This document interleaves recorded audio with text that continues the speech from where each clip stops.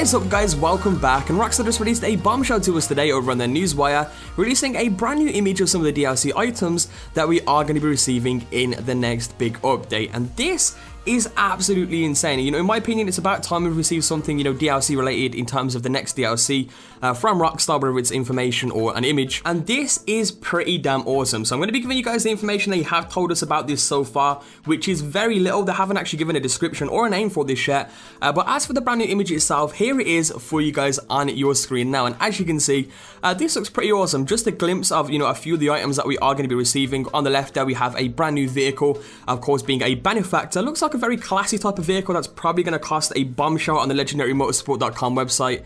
And uh, something to note down, which is pretty cool about this vehicle, it actually has the gull wing, you know, doors, as you can see there, uh, just by the back, which is pretty damn awesome. Now, on the right here, we have what seems to be a vintage type of Desert Eagle. Now, a lot of people are saying that it could be the normal Desert Eagle with a kind of vintage royal camo, uh, which could definitely be the case. This may be a new camo coming to the game where you can apply it to all weapons, or it may be like a new vintage type of Desert Eagle that we may be receiving with this update. Now, as for the information that Rockstar have given us about this DLC so far, it really isn't that much, but I'm going to go ahead and read it out to you guys. So they have stated that they are also working on another update coming soon that will feature some very cool new toys for you to enjoy and flaunt with your ill-gotten gains. For now, the screenshot above provides just a glimpse, and we want to support the older consoles with new content for as long as we possibly can.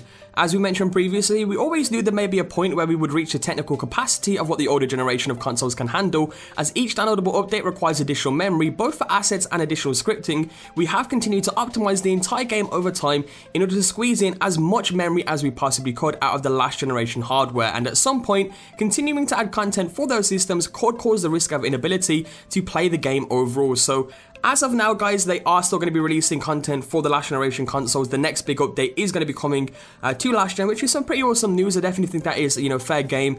But at some point in the future, which is definitely good information because that does mean they are going to continue to keep posting uh, updates for GTA 5 and pretty awesome ones, there may be a point in time where they may have to stop on last gen consoles, which is pretty unfortunate. But in order for them to get the best content out they can, this is the step that they do have to take. So that is all the information that we have on this DLC so far. Remember, they just gave us a glimpse of an image, and hopefully, uh, in the next coming days or maybe even weeks, we may get some more information based on what this actually is now. The speculation going around at the moment is a lot of people are believing that this seems to be a high roller type of DLC uh, with gambling and things like that, and I can kind of see where you're coming from, but I don't want people people, you know, jumping the gun too quickly with this and are saying, you know, just from one image that this is going to be a high roller DLC because, you know, the chances are it might not be and uh, I just don't want people jumping the gun. So a lot of people do think this may be high roller, which is a good a good thing to speculate on. You know, it may, well, it, it definitely could be a high roller DLC considering, you know, stuff to do with gambling and all that kind of good stuff has been found in the coding, especially recently as well.